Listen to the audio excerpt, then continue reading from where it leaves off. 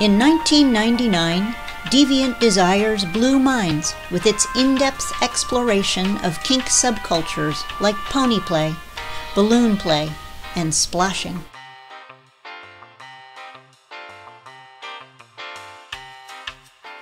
But how has the erotic imagination changed in the age of DeviantArt and Twitter?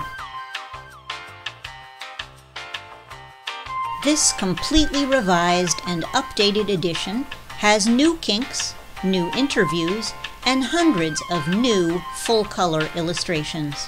What can these seemingly bizarre kinks tell us about the nature of the erotic in all of us? Buy Deviant Desires for your adventurous friends, but buy another copy for yourself. You might discover something about your own turn ons in the process. Because as long as there's enthusiastically given consent, adults deserve imaginative playtime too.